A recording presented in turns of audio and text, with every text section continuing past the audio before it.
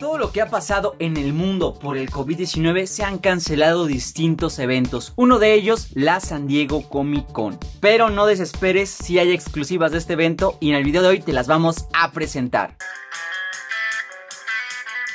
Yo soy Decotapia y este es mi canal Network y hoy traemos para ti con el poder de los cómics las exclusivas de la San Diego Comic Con 2020. Lamentablemente COVID-19 vino a cambiar nuestro modo de vida y cómo se van a realizar las convenciones a futuro. ¿Por qué? Bueno, San Diego Comic Con ya estaba programada, pero ante esta situación han decidido cancelar el evento. ¿Por qué? Porque es mega masivo.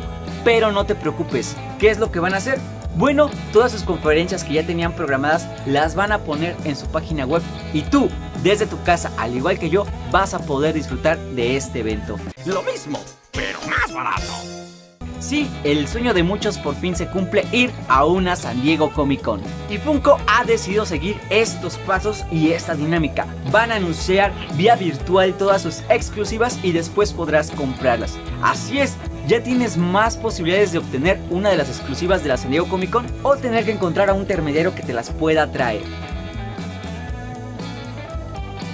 Son muchas, en serio son muchas las exclusivas de esta San Diego Comic Con y estoy seguro que no a todos nos interesan todas. ¿Por qué? Porque somos más fanáticos de una serie, de algún programa o de algún personaje. Pero te voy a presentar las que para mí fueron las mejores. Sigo sin entender cómo es que Star Wars sigue produciendo tantas figuras con pop.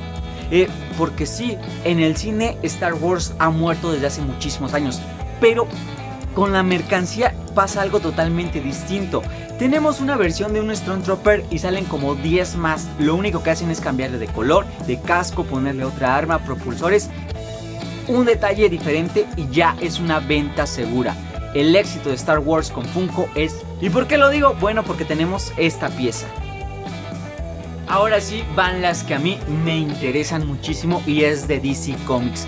¿Por qué? Porque tenemos tres anuncios increíbles y guau, el primero es Superman Cyborg, ya lo sabes, del reino de los Superman, tanto en la película animada como en el cómic. Tenemos a un Clark Kent Superman mezclado con un cyborg. Se ve muy bien, sí, pero me hubiera gustado una edición Glow. ¿Qué quiere decir? El ojo rojo que brillara sería fantástico y un gran detalle a como lo conocimos tanto en la serie animada como en el cómic.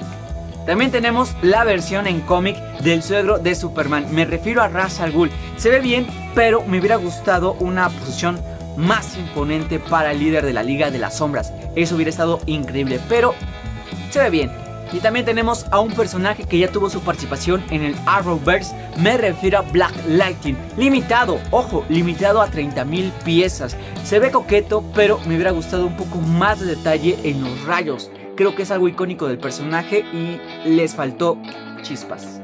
Pixar también ha anunciado exclusivas. Eh, bueno, esto está en dos partes. Porque, bueno, de forma regular Pixar va a lanzar junto con Funko varias piezas. ¿De qué? De esos aliens, de estos personajes de Toy Story.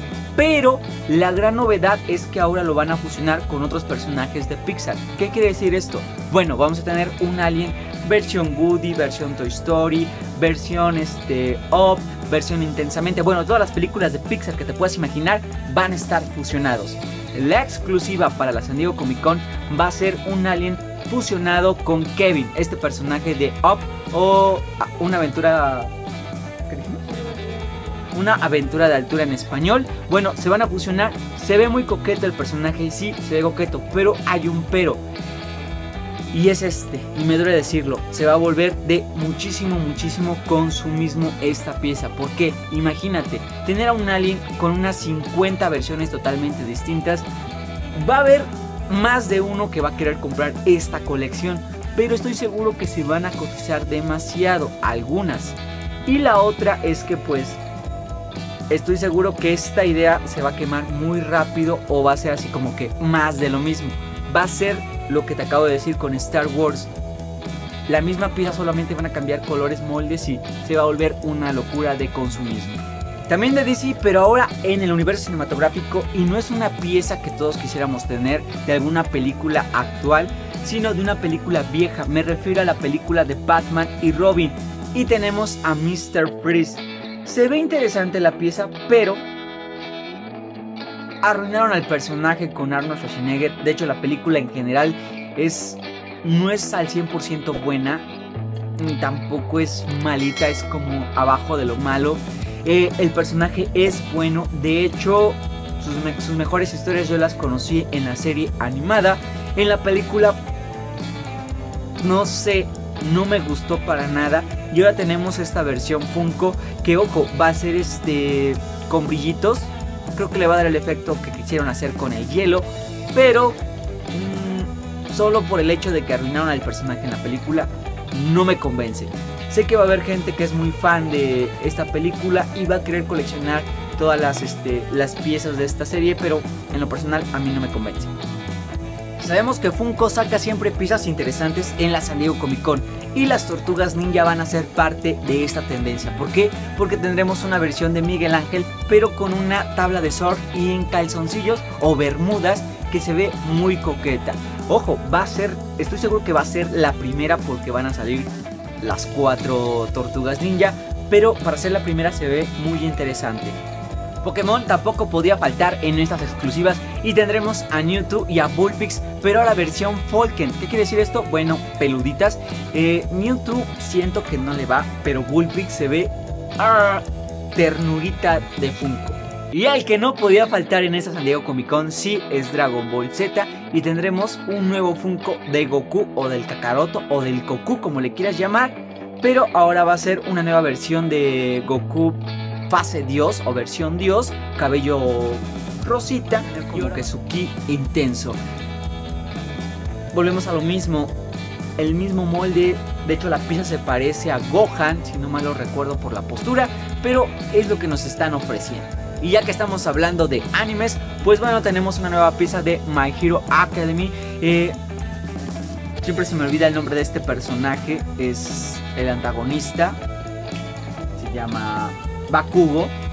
Eh, sí cambió a la pieza regular que teníamos, ahora está lanzando su, su, poder explosivo, tiene explosiones, tiene sus granadas activadas, entonces sí fue un gran cambio a la figura regular que salió hace un tiempo, entonces sí me gusta, pero me hubiera gustado que fuera metalizada o no sé, versión glow, algo que la hiciera aún mejor. Y bueno, para terminar, la mascota de la San Diego Comic Con no podía faltar y tenemos a este increíble tucán, pero ahora como astronauta. De hecho tenemos la versión astronauta y también tenemos una versión de superhéroe.